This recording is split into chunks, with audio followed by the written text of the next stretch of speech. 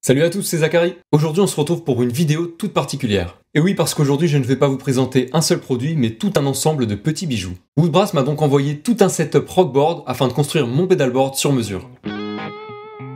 On va donc monter ensemble un pedalboard grâce à cette panoplie complète, et ça tombe bien parce qu'il fallait vraiment que je le fasse avant de repartir en live. Et on va donc commencer par se faire un petit inventaire du matériel rockboard pour le découvrir ensemble. Tout d'abord, la housse de protection noire, idéale pour le transport et son côté pratique. A l'intérieur de celle-ci, on découvre le support Rockboard 3.1 en aluminium, robuste et léger. Avec sa légère inclinaison, sa surface lisse et ses multiples fentes, ce board est une base parfaite. Le 3.1 fait 51 sur 24 cm, ce qui est parfait pour y installer 8 ou 9 pédales, c'est donc parfait pour moi. On va ensuite s'équiper de plusieurs patchs qui nous permettront de relier entre elles nos différentes pédales. 10, 20 ou 30 cm, ce sera idéal pour optimiser l'espace. Avec leur connecteur plaqué or, le look est d'enfer en plus. Une petite lumière pour éclairer le board, pratique et jolie.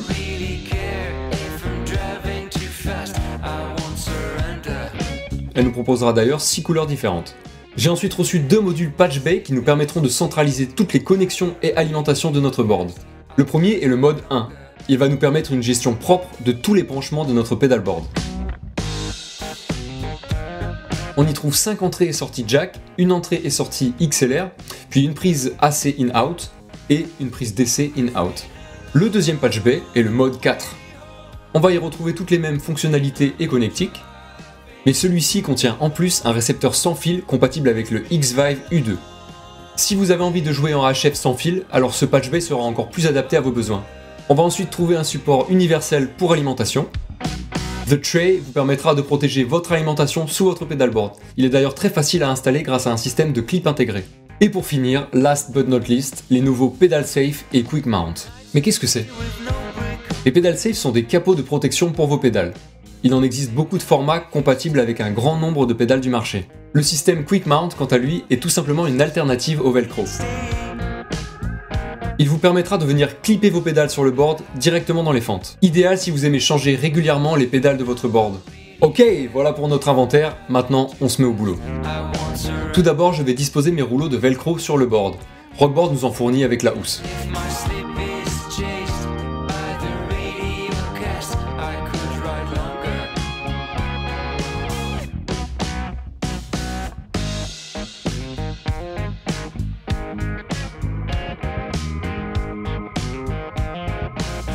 Je vais ensuite venir tout simplement poser mes pédales pour réfléchir au meilleur agencement possible. C'est très important d'avoir une vue d'ensemble avant d'attaquer.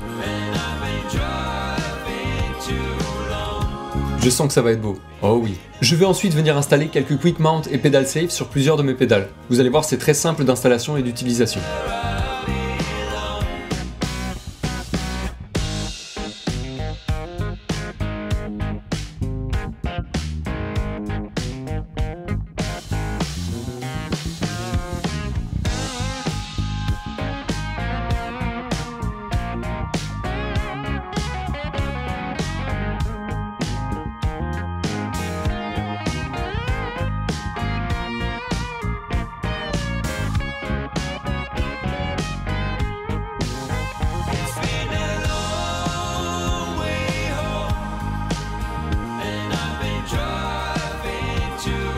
Maintenant qu'on a notre base et notre disposition, je vais pouvoir coller les scratchs sous chaque pédale et les fixer au board. Si vous utilisez des quick mount, vous n'avez bien sûr pas besoin d'ajouter du scratch car vous pouvez directement venir clipper vos pédales dans le board.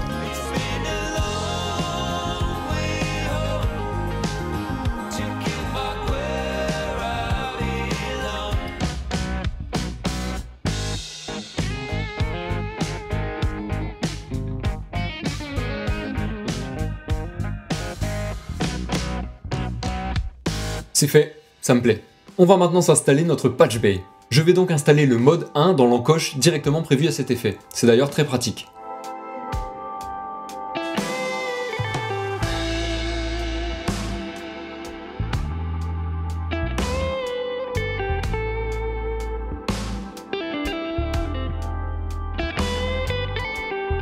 C'est vissé, c'est paré, c'est tout bon. Étape suivante, branchez toutes les alimentations de vos pédales. Très rapide.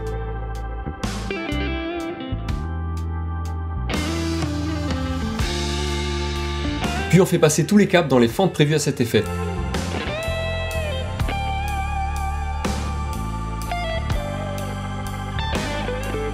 Toujours en essayant de rester le plus propre possible. Je vais ensuite venir poser mon boîtier d'alimentation sous le board dans la cavité prévue pour. On branche ensuite toutes nos petites guirlandes dedans. Puis on va venir fixer les guirlandes entre elles avec des colliers de serrage que Rockboard nous fournit.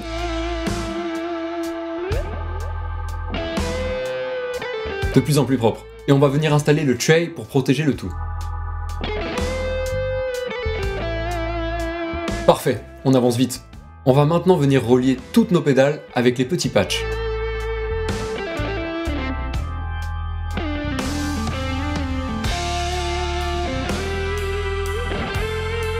A vous bien sûr de gérer au mieux votre organisation, vous pouvez passer au-dessus ou sous le pedalboard grâce aux fentes. Ça y est, c'est câblé. A noter que j'ai commencé tout mon circuit d'effet en A dans le patch bay, puis je l'ai terminé en B. Je vais maintenant fixer la lumière directement dans le support, et il n'y a plus qu'à visser. C'est installé, on teste ça et vous allez voir comme c'est pratique.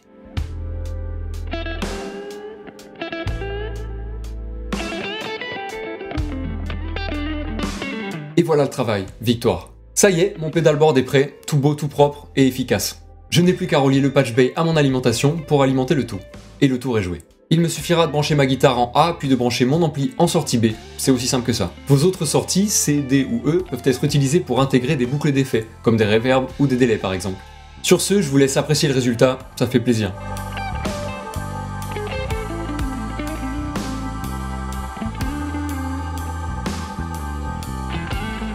Je tiens vraiment à remercier Woodbrass de m'avoir envoyé tout ce setup rockboard, c'est exactement ce qu'il me fallait. Merci à vous d'avoir regardé cette vidéo un peu spéciale, j'espère qu'elle vous a plu. Je vous invite comme d'habitude à aller vous abonner à la chaîne de Woodbrass, et je vous invite également à me suivre sur les réseaux sociaux pour plus de contenu. A très bientôt